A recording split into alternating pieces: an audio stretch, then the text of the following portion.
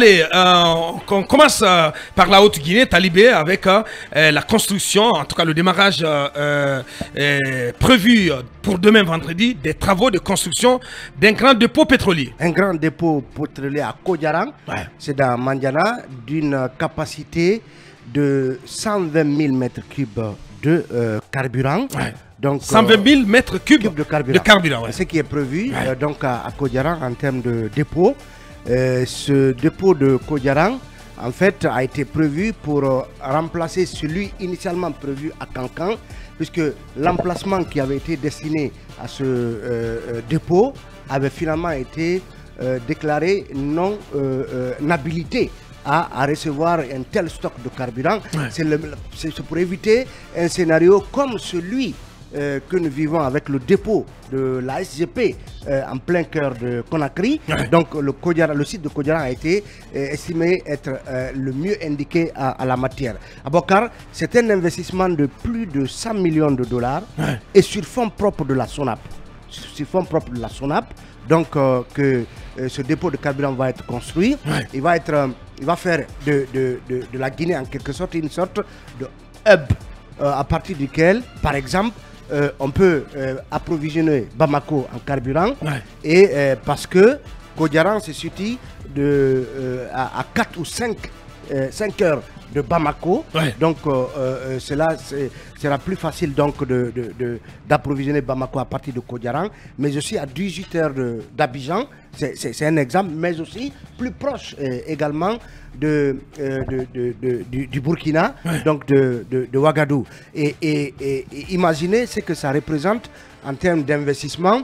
vous avez dit 100 euh, millions de dollars hein, américains d'investissement sur fonds propres de la SONAP. De la SONAP. Ben. Et, la SONAP, euh, justement, en si peu de temps, a pu réunir ces fonds parce que quand le CNRD venait aux affaires, les marketeurs, c'est-à-dire les grands importateurs, Total et autres, restaient devoir beaucoup d'argent en termes d'arriérés de taxes à, la SONAP. Donc la SONAP a pu recouvrer cet argent et... Donc la SONAP les a contraints à, à, s'acquitter de ces, de ces arriérés. Voilà, donc euh, la SONAP a pu réunir cet argent et qui va donc euh, euh, permettre de, de faire en sorte que toute cette partie de la Guinée et donc ces pays que j'ai cités puissent s'approvisionner à partir de, de, de Kodjaran. Très bien.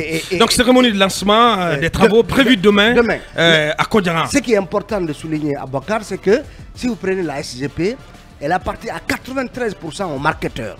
80 13% aux marketeurs. Hein? Donc à 7% seulement, cette société appartient à la Guinée. À, la Guinée. Donc, alors que euh, va être une propriété à 100%, 100%. de, de l'État guinéen. Donc, un investissement important à encourager. Peut-être un investissement euh, euh, euh, jamais connu en termes quand même de hauteur, euh, d'envergure, d'envergure en, Haute-Guinée. c'est le plus gros investissement jamais réalisé dans cette région. Est-ce qu'il est prévu euh, des, des, des, dépôts pétroliers du même type dans les autres régions talibées Non. En Guinée forestière, euh, en, en, moins de Guinée aussi. Oui, il, est Peut-être que la basse-côte peut être desservie par euh, le dépôt central euh, de Conakry qui va être délocalisé. Ce que le projet il est toujours euh, de mise, la délocalisation du dépôt central de, de Conakry? De Conakry à Moribaya. Très bien. Vous savez que c'est un projet qui Donc dans la préfecture de Forêt-Caria. un, projet de plus de 200 millions d'euros. Et c'est à l'arrivée du CNRD que les études de faisabilité ont été achevées. Mais là, c'est un investissement qui doit être assuré euh, beaucoup plus par les partenaires euh, étrangers, les partenaires techniques et financiers. Donc, ils sont en train, l'État est en train de se battre pour mobiliser ces financements. Mais puisque euh, voilà, il y a urgence, en attendant que ce financement soit mobilisé à travers les partenaires étrangers, donc la SONAP elle peut financer donc le, le, le, dépôt de Kodjara. Le dépôt de Kodjara, donc celui destiné à la, toute la Haute-Guinée. Oui, un mot là-dessus, Mamadou très rapidement. Ben, écoutez, je pense qu'il faut euh, noter ça très positivement parce que vous, vous rappellerez que j'ai attiré l'attention de Mamadi Doumbouya là-dessus la dernière fois quand j'ai vu par exemple qu'au Sénégal, on n'est plus sur euh, les questions de dépôt pétrolier mais plutôt de, la prospection, on est même au-delà de la prospection. Dans l'exploitation. On vise l'exploitation gazière euh, du côté de, de, de, de, Vous dites? de, la L'exploitation gazière et pétrolière. pétrolière. à partir de 2024. Le pétrole, déjà, ils sont très avancé d'ailleurs. C'est pour ça que je parle encore du, gaz. Du gaz. Donc, je profitais de cette parenthèse pour attirer euh, l'attention de Mamadi Doumbouya sur la SONAP. Donc, si aujourd'hui, il y a ce que j'appelle du pragmatisme, d'abord dans le fait qu'on va construire un dépôt pétrolier euh, en Haute-Guinée, mais qui va certainement servir aussi à la Guinée forestière euh, pour ceux qui donc auront besoin de pétrole qui viendront les, prendre en Haute-Guinée et les, desservir la région forestière. Ça ne peut être que salué. Talibé l'a dit, c'est pratiquement près de 1000 milliards de francs guinéens qui vont être investis là, à 100% pour l'État guinéen, euh, alors que euh, la société centrale ici à Conakry appartient pratiquement euh, à des investisseurs étrangers, 7% seulement pour le, gouvernement guinéen. C'est à saluer. Effectivement, moi ce que j'attends encore plus, c'est qu'on accélère la, délocalisation du dépôt pétrolier de, de, Kaloum. Parce qu'il reste toujours un danger. Tout à fait. Même si il faut aussi saluer quand même, euh, si vous voulez, l'expertise, la vigilance constante de nos cadres. Euh, notamment côté guinéen qui sont à la SGP, qui veillent à ce que les, les, si vous voulez, les, mesures de sécurité soient respectées. Mais ça reste un danger au milieu de la capitale. Bien. Et Moribaya, Talibé l'a dit, euh, on va passer par Mafria. C'est un peu euh, à cheval entre Mafria et Koya, je crois. le village Moribaya est derrière euh, euh, un, secteur qu'on appelle Mangueta, du côté de Mafria que je connais. et d'ailleurs, les populations. Tu as été? Oui. Ah, évidemment, on, a, on, a prospecté, ce côté, on a des l'open terre de ce côté, eh ben, et, la population là-bas attendent cette délocalisation. parce, que, parce, que, parce que la délocalisation là va servir en fait à cette contrée d'être, si vous voulez, euh, désenclavée. Désenclavée. Mais que... va être une sorte de, une sorte de hub. Évidemment. Parce qu'il y a, y a, y a, le port, il y a le port, il y a l'aéroport. Oui, bien qu'il reste. Et, voilà. Évidemment, le projet. Bah, le Transguinéen, bien entendu. d'abord. qui va euh, chuter euh, sur Moribaya, parce que le port est prévu à Moribaya. Oui, donc ça va. En fait, Donc c'est le moment de chercher.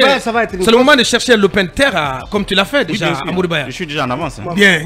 Moribaya va être un gros investissement à Bakar. Il est prévu un pipeline de 21 km. Ah, ben voilà. Et je termine en disant ceci. Euh, au-delà des dépôts euh, pétroliers, au-delà des dépôts pétroliers et, des passages, j'allais féliciter euh, le, directeur général, le directeur général Doumbouya, qui est très porté sur les résultats, sans flagornerie, sans ça se voit sur le terrain. Mais il faut être plus pragmatique. Et là, c'est à l'endroit de Mamadi Doumbouya toujours pour les prospections, pétrole. Je suis entièrement d'accord. Au temps de Jean-Marie Doré, vous vous rappellerez, Hyperdynamique est venu a fait des études. Les études sont même disponibles. Bien. C'est là-dessus que je voulais lancer euh, euh, Manu. Parce que moi, je ne peux pas comprendre que mais, je vous donne il y a du pétrole. Il y a du pétrole. Je vous donne cette information. Au Sénégal. Les études hyper dynamiques ont été rachetées par un de nos compatriotes. Eh ben. Peut-être que je ne voudrais pas le nom tout de suite.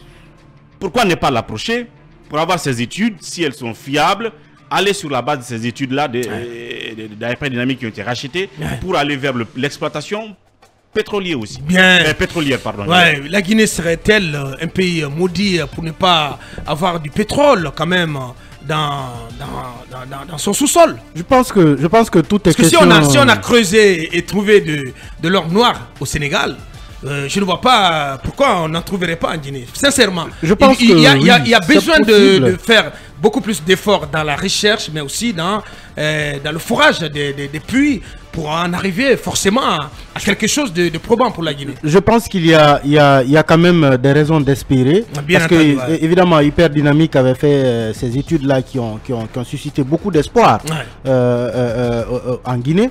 Mais il y a aussi un moment, je pense, à l'époque où c'était encore la l'ONAP ou, ou, l'ONAP ouais, de, euh, de, de, de Koulibaly, il y avait eu effectivement, euh, au-delà des études d'hyperdynamique, il y a eu une intervention même qui a été euh, euh, euh, cofinancé, je pense, par Total euh, et puis l'État guinéen, où on avait ciblé un espace où on pensait trouver de l'or noir. Évidemment, ça n'a pas donné le résultat escompté, mais les pays qui ont découvert le pétrole ne l'ont pas découvert au premier forage ou à la première recherche.